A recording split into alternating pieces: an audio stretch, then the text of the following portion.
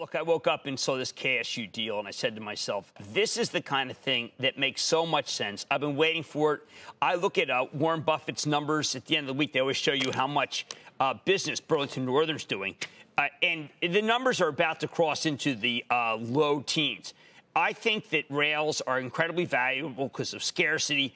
David, the thing that I don't know, if they don't uh, overlap, then why wouldn't the authorities go for it? Uh, you know, it's likely that they probably, well, we can't prejudge these things. The Surface Transportation Board, we know, Jim, from previous attempts by various rails at, at, certain consolidation they haven't liked. But to your point, with no overlap, I think the expectation is more likely that they will say yes to the deal. And of course, the way it's structured and the way we've seen previous rail deals structured, you can even go back way back to when there were deals involving broadcast licenses. There's creation of this trust so you're going to be able to sell your shares sooner than when the regulatory review period has ended into the trust. And then they will take on the risk at Canadian Pacific, essentially, of closing the deal from there. And should it go against them, then they're going to have to figure out what to do with that ownership of, of, uh, of, of, uh, of, Kansas City in that trust. But you're right.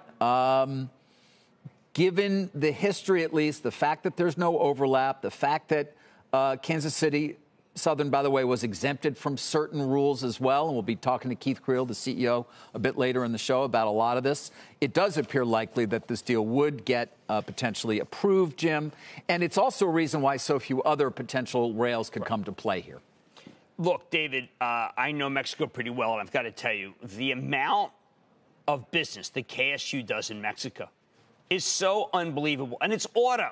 And now I know that the former president did not favor uh, cars being built in Mexico versus here, but that doesn't get talked about much anymore. So, David, this is a powerhouse idea because it is because this is about Mexico. This is not about United States, uh, which is why it's so exciting for CP because they become a major.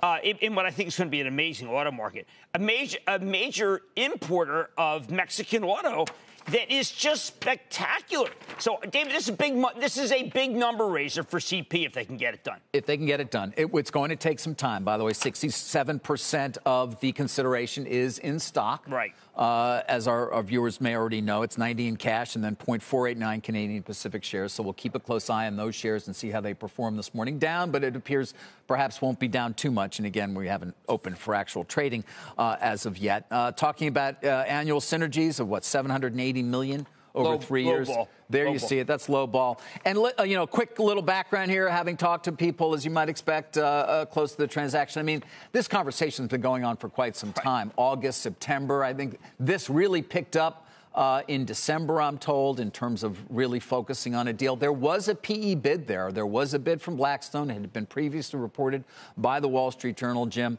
Um, and it was all cash and obviously did not carry the risk that this kind of a deal would. However, I'm told it just wasn't close enough in terms of the number to really compete with what Canadian Pacific came with. And so the, the board made the decision there that, that this is by far the better deal.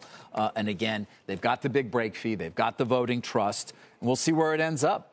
But, David, doesn't it feel like that's the kind of deal that would have happened pre pandemic, where there's just a, a, sense that autos are going to be good mm-hmm. and, uh, and Mexico could be pre, actually pre President Trump? It does feel like, David, that when I saw, I mean, look, I, you know, got the uh, emails. You probably did much more work than I did, obviously, on the people who are uh, the principals. And one thing is certain, David, it just doesn't. It's not about the pandemic anymore. I mean, it's just about pure business. Is something right. happened?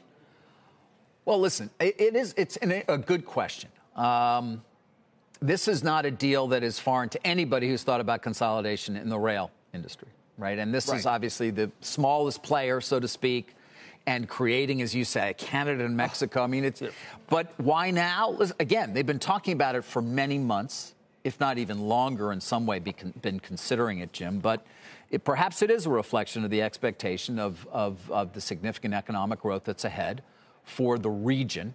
And the increased trade that's going to take place between Mexico, the U.S., and Canada, especially given that new free trade agreement that, that right. went into place not that long ago.